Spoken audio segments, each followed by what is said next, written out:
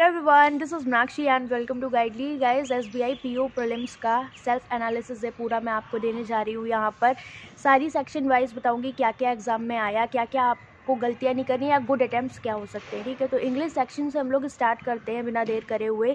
English में आप यहाँ पर अगर मैं बात करूँ पेपर ईजी टू मॉडरेट था, ठीक है? ट्वेंटी फाइव मैंने यहाँ पर अटैम्प्ट किए। अगर बात करें पैरा जंबल की, ठीक है? तो फाइव क्वेश्चन इस पर थे आपके फाइव सेंटेंस थे ए से लेकर A B C D E okay इनको आप इजीली यहाँ पर कनेक्ट कर सकते थे। मतलब मैं कहूँगी कि ईजी था, कर सकते थे आप लोग। कनेक्शन मिल रहे थे, ठीक है? आपस में।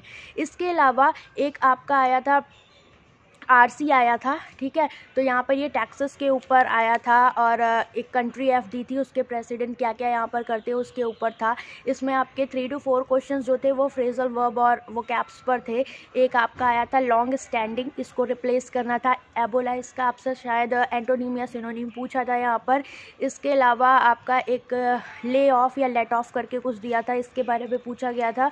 और एक दो क्वेश्चन ऐसे थे जो डायरेक्टली आपके फ़र्स्ट पैसेज से आ रहे थे या सेकेंड पैसेजेस से आ रहे थे। थे मतलब इसके अलावा अगर बात करें तो दो तीन वाले जो होते हैं तो वो मैंने यहाँ पर छोड़े थे क्वेश्चन और इसके अलावा आपका था एरर डिटेक्शन इसमें क्या था? हर एक क्वेश्चन में आपकी थ्री सेंटेंस दिए गए थे ए बी सी और उसमें पूछा था कौन कौन से करेक्ट है। तो वो आपके मल्टीपल हो गया आपको वहाँ पर उन्हें टिक करना था। इसके बाद आपका मैच द कॉलम्स आया था, ठीक है? तो कॉलम में आप इजीली सेंटेंस को कनेक्ट कर पा रहे थे। अगर आप ऑप्शंस की हेल्प लोगे देन आप जल्दी इसको एलिमिनेट कर पाओगे। तो इसे आप कर सकते हो।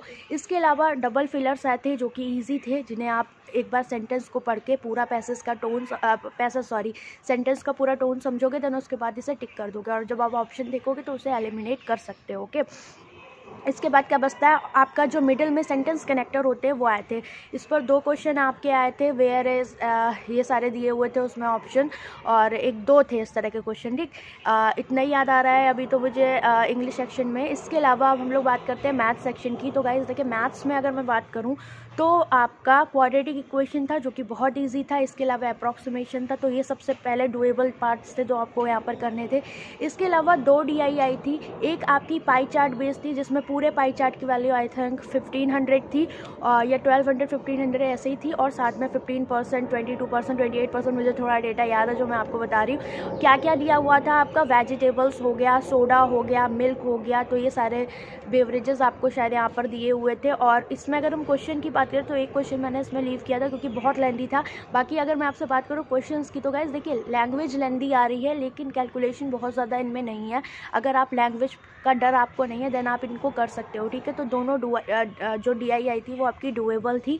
सेकेंड डी में क्या था आपका? सेकेंड डी टेबल बेस्ड थी, जिसमें आपको रूरल रूरल और अर्बन दो डेटा दिए गए थे। अब जैसे एक डेटा मुझे याद है ए का। तो ए में क्या था आपका? 880 रूरल का डेटा था और अर्बन का डेटा आई थिंक 45 परसेंट था। तो आप रूरल का कैसे निकालोगे? 55 परसेंट को 880 के बराबर करके निकाल लोगे अगर आपसे टोटल पूछेगा तो आप टोटल भी निकालोगे। इस तरह के फाइव ए टू डी या ए टू ई करके दिए हुए थे।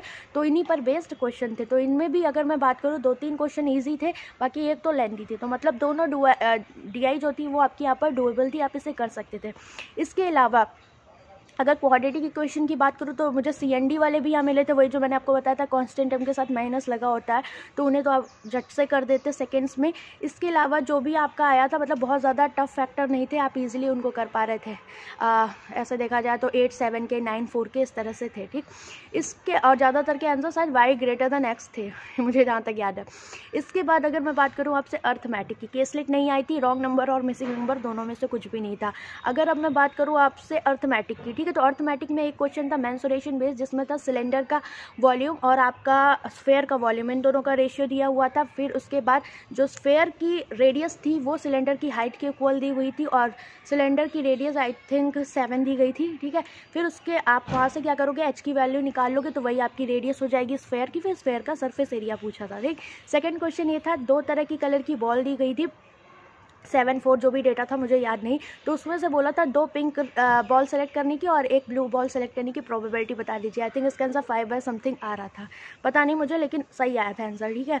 जो जो याद आ रहा है, वो मैं बता देती इसके अलावा एक था टाइम एंड वर्क का क्वेश्चन तो टाइम एंड वर्क के क्वेश्चन में क्या पूछा था? आपका दो लोग थे जिनका एफिशिएंसी का रेशियो दिया था something like that three two two या टू टू थ्री फिर ए और बी का जैसे दे दिया, फिर ए और सी का आई थिंक दिया था क्या?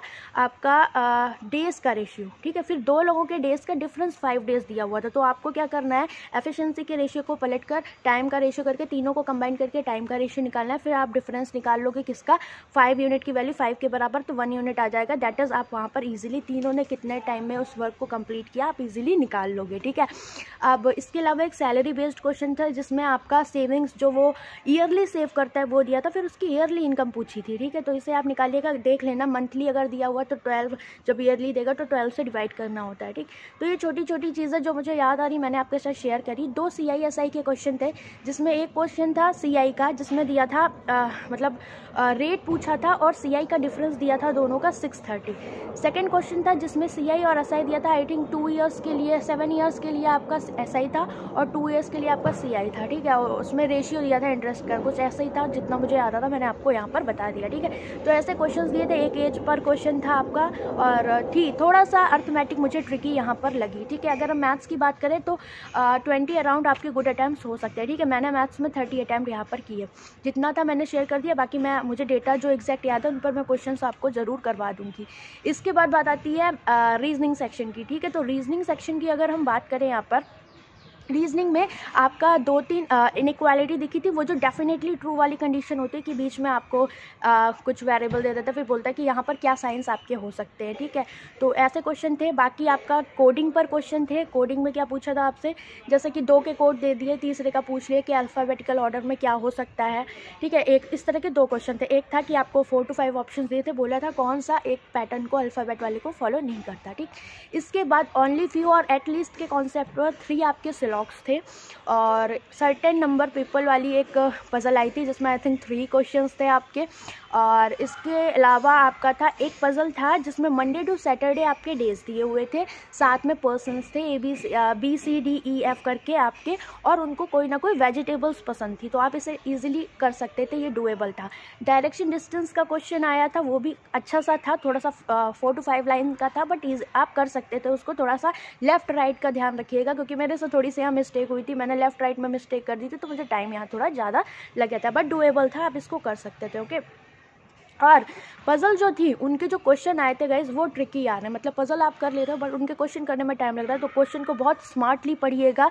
ठीक है सर्टेन नंबर वाली और मुझे वेजिटेबल वाली, इन दोनों के क्वेश्चन काफ़ी अच्छे लगे थे। मतलब टाइम लग रहा था इनको करने में ओके और इसके अलावा क्या था, एक आपका पैरल रो वाली आई थी पज़ल वो आप कर सकते थे यहाँ पर।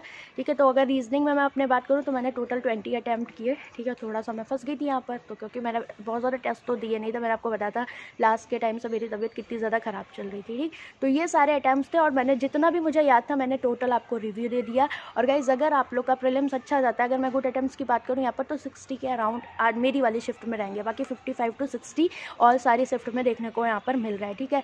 तो मेन्स के लिए अगर आप प्रिपेयर कर रहे हो डी आई अर्थमेटिक के लिए देन आप रुद्रा बैच ले सकते हो, क्योंकि यहाँ पर देखो मैं एग्ज़ाम देती रहती हूँ तो मुझे पूरा आइडिया है कि आपके एग्ज़ाम की नीट क्या है। एग्जैक्ट लेवल अगर आपको प्रिपरेशन करनी है पीओ की देन आप रुद्रा बैच ज्वाइन कर सकते हो। अभी आपके पास टाइम है मेंस के लिए तो मैथ्स में जो भी दिक्कत है आपको, वो यहाँ पर कुछ नहीं होगी। अगर आप मैं जैसे बता रही हूँ, वैसे फॉलो करोगे, ठीक है? तो मोस्ट रिकमेंडेड है। लिंक मैं आपको कमेंट सेक्शन में शेयर कर दूँगी। बाकी मैंने एनालिस आपको फुल मेमोरी बेस कल का जितना भी था, पूरा करवाया हुआ है, उसकी लिंक भी मैं आपको दे दूँगी। आप लोगों ने जो भी अटैम्प्ट किए, मुझे कॉमेंट करके इस वीडियो के नीचे ज़रूर बताइएगा कि आप लोगों ने कितने कितने अटैम्प्ट किए।